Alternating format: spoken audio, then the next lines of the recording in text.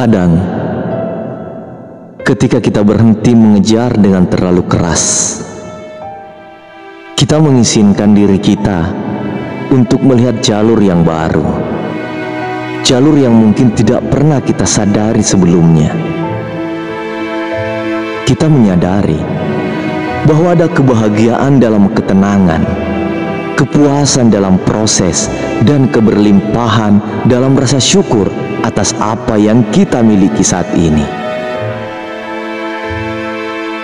Jadi, mari kita mengubah paradigma kita tentang kesuksesan dan kebahagiaan.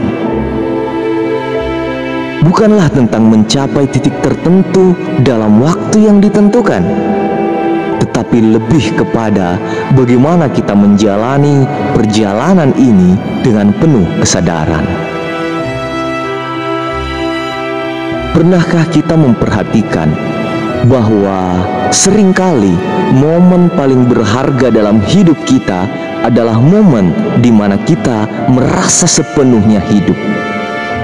Saat kita merasakan kehadiran sejati dalam momen sekarang, itulah kebahagiaan sejati.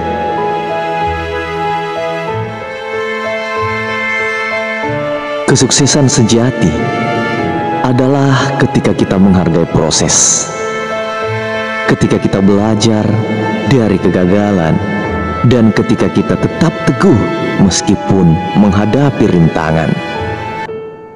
Keberanian untuk terus maju dalam keadaan tak pasti adalah sebuah bentuk kesuksesan yang sesungguhnya.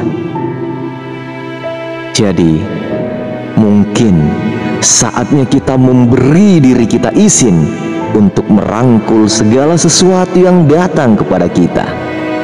Izinkan kebahagiaan dan kesuksesan untuk menemui kita bukan sebagai hasil dari pengejaran yang tak kenal lelah, tetapi sebagai hasil dari penerimaan akan keadaan yang ada. Mungkin dialah memberi diri ruang untuk bernafas, kita akan menemukan keindahan yang tak terduga.